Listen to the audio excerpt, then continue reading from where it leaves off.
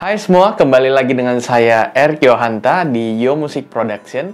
Hari ini saya ingin nge-share tentang speaker terbaru kita ya, namanya UM Audio. Jadi UM Audio ini adalah speaker flat ya, terbuat dibuat di Indonesia. Jadi wajib di review guys ini. Sudah ada di belakang saya, tadi udah coba dan keren banget suaranya. Menurut saya gak kalah dengan barang-barang import ya, dengan speaker import yang lain ya, seperti uh, uh, HS7, HS5, bahkan dengan ISK ya. Ini kalau kita lihat sekilas itu seperti HS5 ya teman-teman ya. HS5 dan HS7 ya, tapi uh, ini adalah buatan Indonesia ya. Jadi keren, saya pengen review dan tentunya pengen naikin produk produk-produk Indonesia itu gak kalah gitu loh dengan produk-produk yang lain gitu. Karena suaranya ini keren ya, flat. Kita bisa pakai untuk uh, editing, untuk monitoring juga oke, okay, juga bagus banget ya. Dan ingin tahu detailnya seperti apa UM Audio ini? Maka saksikan video berikutnya. Ini dia UM Audio ya, penampakannya dari dekat, teman-teman. Ya, jadi ini namanya UM7B ya. Jadi UM7B kita namain UM7B. Terus speknya seperti apa sih ya kan? Nah, speknya itu ini tuh speaker ini 6,5 inch ya. Jadi 6,5 inch uh, soft dome Twitter ya di sini ya. Ini soft dome ya. Dan uh, speaker woven composite Twitter 6,5 inch di sini ya. Jadi ini keren banget dan ini dua-duanya gak aktif sih, tapi satu aja aktifnya. Jadi satu aktif di sana, lalu disambungin ke sini. Ini ya. Jadi ini pasif gitu. Jadi yang aktif cuma sana ya. Kita lihat penampakan di belakangnya seperti apa ya teman-teman ya. Oke. Okay. Ya.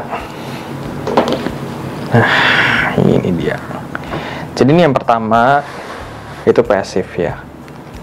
Juga udah ada lubangnya di belakang. Ya kan? Nah, dari sana baru disambungin ke yang ujung. Nah. Oke. Okay kita coba putar dulu ya. Nah volumenya kita buka only flat aja ya jam 12 ya arah jam 12 ya. Jadi arah jam 12 inputnya left right. Jadi ini yang aktif ya kan? Jadi ini kita pakai untuk right. Sedangkan yang sana kita pakai buat left. Ya jadi ini saya sambungan ke mana sih, ya kan? Saya sambungkannya ini ke, oh kabelnya rame. Focus right. Focus right-nya berapa? Focus rate-nya 18i20, ya kan? Jadi ini biasa kita buat untuk rekam-rekaman di studio Yo Musik ya. Nah, gen pertama sih ini. Yap, kita kembalikan dulu ke posisi semula. Jadi nanti kita akan coba putar lagu, ya kan? Sambil kita dengerin gimana sih review jernih langsung direkam ya. E, pakai suara langsung masuk ke suara HP gitu. Jadi supaya teman-teman tahu seclear apa sih jadi seclear apa sih UM audio ini? Jadi kita coba aja langsung uh, cek video selanjutnya.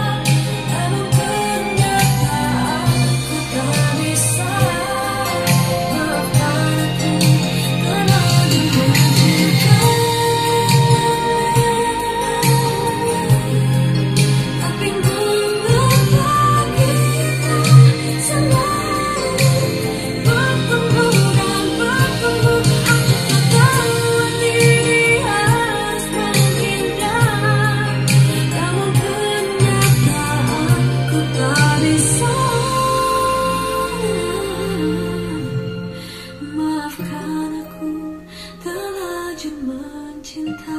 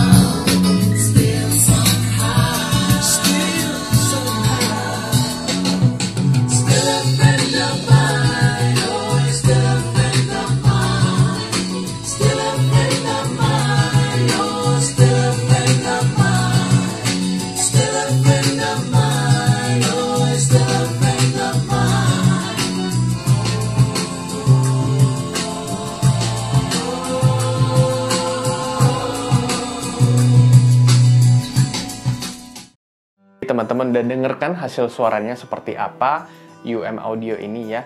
Jadi menurut saya worth it banget sih ya dengan harga yang tidak terlalu mahal juga, terjangkau buat teman-teman. Uh, dan by the way ini kepakainya nggak tinggi-tinggi banget ya. Ini 120 watt untuk dua unitnya maksimumnya.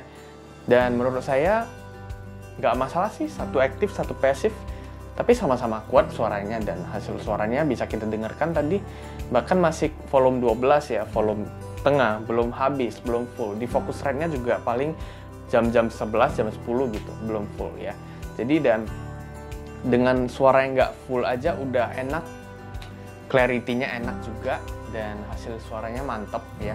Jadi ini bisa jadi pilihan terbaik buat teman-teman yang pingin memulai recordingnya, pingin memulai usaha rekamannya ya, ingin mencoba untuk rekaman pribadi di rumah boleh juga karena uh, size-nya juga agak terlalu uh, besar ya, mungil dan nggak nggak berat-berat banget juga, jadi easy easy untuk dibawa ke mana-mana sih, ya kan. Jadi itu aja untuk review hari ini UM Audio. Saksikan lagi video-video selanjutnya yang akan eh, video-video uh, lanjutan yang pastinya akan lebih seru lagi untuk speaker-speaker lain ya. Jadi ditunggu aja. See you next video. Bye.